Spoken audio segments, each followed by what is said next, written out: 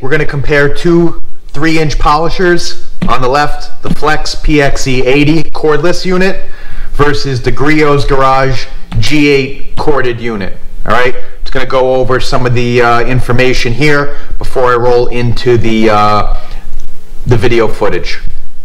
So the Flex comes with two 12 volt batteries and a charger. Uh, I would say you get about 30 minutes, give or take, per battery at um, at full full uh, full speed. The G8 is a corded unit, um, so there's no issues with uh, with running out of power. Both of these machines are 8 millimeter orbits. Uh, the Flex is rated at 5,800 oscillations per minute, where the G8 is a little bit more powerful at 6,400 oscillations per minute. Um, I don't really notice any additional power out of each one uh, when it's in use. This one might vibrate a little bit more, which makes it seem a little bit more powerful, but I would say that as far as how powerful it feels to the user, um, the differences are almost negligible. Now, uh, the Flex uh, has a random orbit as well as a rotary function, um, whereas the G8 is uh, all-time random uh, function. Each machine can use a 1-inch, a 2-inch, and a 3-inch backing plate.